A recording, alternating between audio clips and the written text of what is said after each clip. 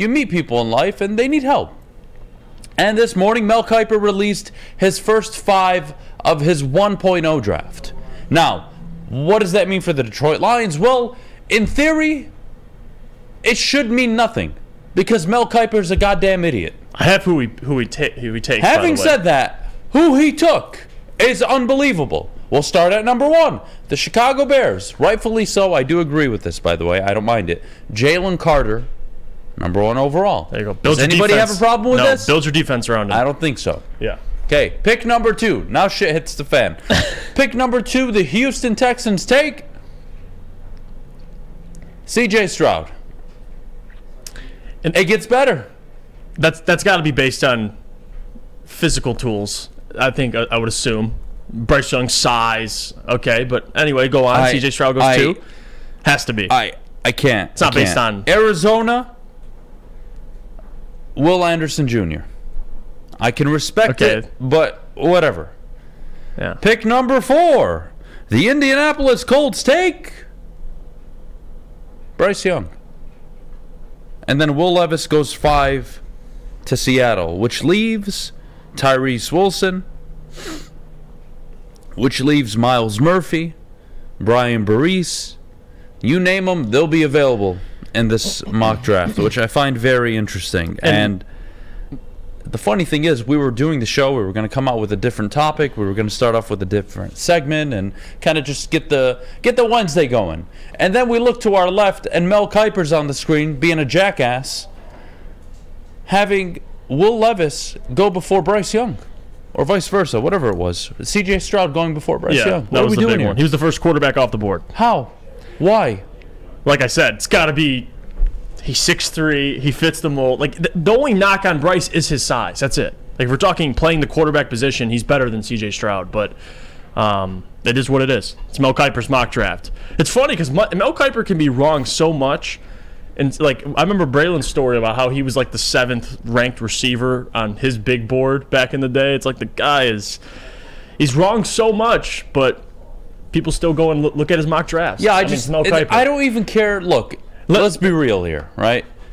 Not everybody nails the mock drafts. Very difficult. And he to actually, do. t- to his credit, he did a pretty good job last year. If you go back and look at his mock draft, So he- I, I don't mind, but when we're gonna have a conversation here about Detroit and where they sit at six, in his version, that's a disaster for Detroit. it's a disaster because Carter Anderson are off the board, right? And so are the three quarterbacks, which eliminates what, Jeff? The ability to trade back to a team that would want a quarterback. yeah, So the idea that Indianapolis, Seattle, and Houston all take a quarterback, that that is problematic. I don't expect that to happen. I don't expect Seattle to take a quarterback. I actually expect them to take somebody on the defensive side of the ball, but beyond the point. Mel Kiper's first mock draft, very bad for Detroit. Can I read off both the picks? Yeah. I have um, the sixth pick and the 18th pick and what Mel Kiper does. Uh, the first one, and I've seen this on a couple other mock drafts as well. What, Tyree the- Wilson, edge out of Texas Tech. Can I ask you something And then- before you go to 18? yes, Would you draft an edge rusher at six? I wouldn't have an issue with it. Would you? I'm not asking if you'd have an issue. Yes. I, at See, I, I would pass because of Houston, Kaminsky, Hutchinson. But what if the best player available is an edge rusher? By would you sacrifice a, a, a like? well, would you know go a little at, less? But I can't work with it because it's not real yet. I would love to trade back. Yeah. If there's a quarterback I out agree. there, I've- somebody wants him. I don't even need a, a haul. I'll trade back two, three spots. I'll get my corner at eight, nine, ten. I'll move on with my. but let's say you're stuck at six. You're stuck at six. Are you going I- best player available, or are you picking positional? Like you, you're going to take the best corner? Depends who best player available is, right? Because I, I have my, I have my foundational rules when it comes to the draft, which we'll start with the mock drafts coming on later. But tell me who he has at 18. So Go for it. 18, and this actually, I, I don't mind this one. Christian Gonzalez, corner out of Oregon. Okay, look, Depends now who was I'm on the not- board. I got to see who was on the board. I'm not gonna say it's shit. Uh, yeah, I'm just saying, I would prefer Devon, uh, excuse me, Devon Witherspoon, and Joey Porter Jr.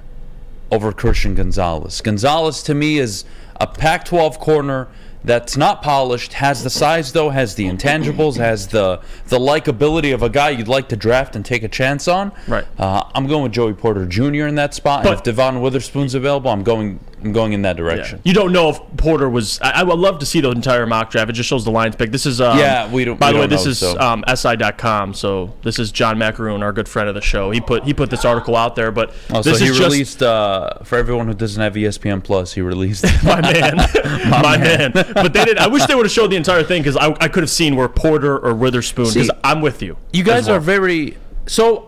Look, it's early. It's January. All right. I don't mind some of you saying Gonzalez will be long gone. Right. We don't know yet. We'll see how the board shapes out. We'll see the combine. We'll see how everybody does when they practice in their underwear. Everyone's gonna get a boner. All right. Cool. Having said that, uh, I don't think from now you can predict the board for any of these corners.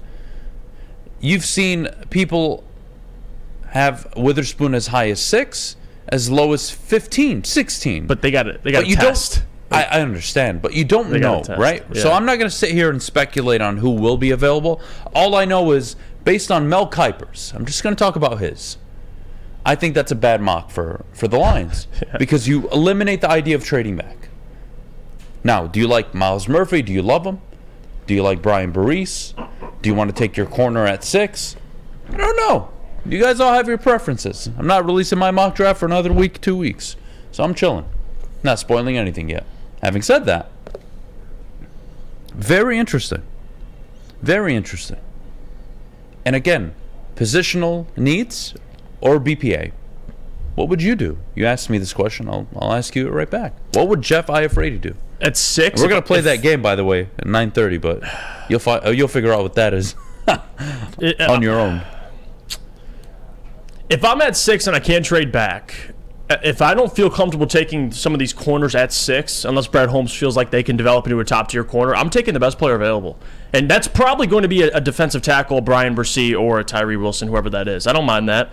And, and where you're at right now is the Lions. I like Houston, but still at the same time, like it, it- if you could take somebody that can play edge, can get moved inside and play defensive tackle, I'm, I'm going with that player. So um, I don't mind the BPA approach. I don't. Uh, Double D asks, "Is there anything wrong with Okudah putting in a bit, uh, putting on, excuse me, putting on a little bit of weight, and using him as a hybrid linebacker type?" Uh, I'll tell you the problem. He would never do it. Good tackler, very good tackler.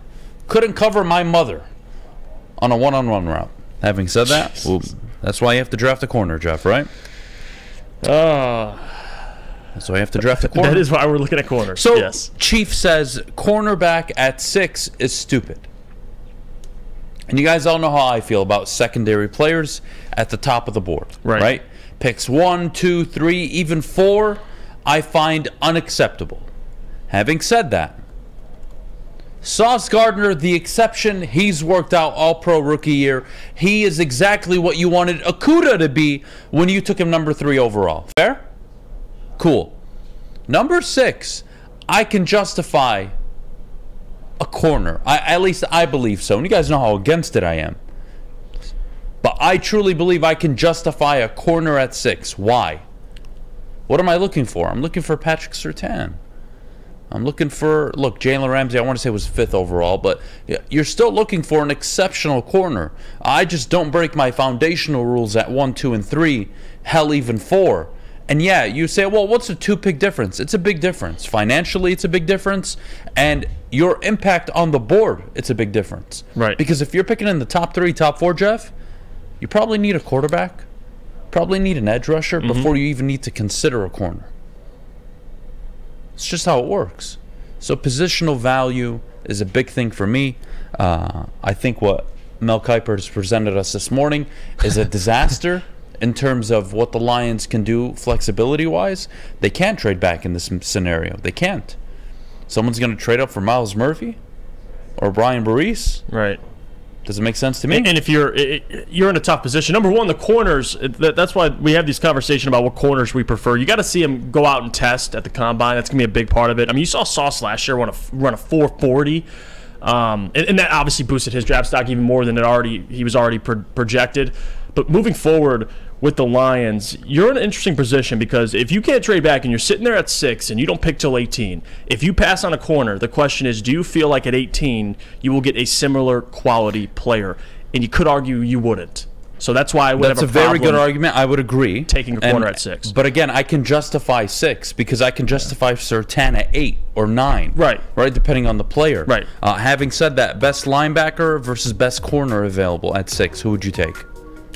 Mm, well, best corner, If you could get the best corner or the best linebacker in this draft, who would you prefer? best I, corner. am not talking about a player. best corner. See? Yeah, I what I think mean? about it for a second, but yeah, best corner. For the Lions, it makes so much sense. Yeah. It just does.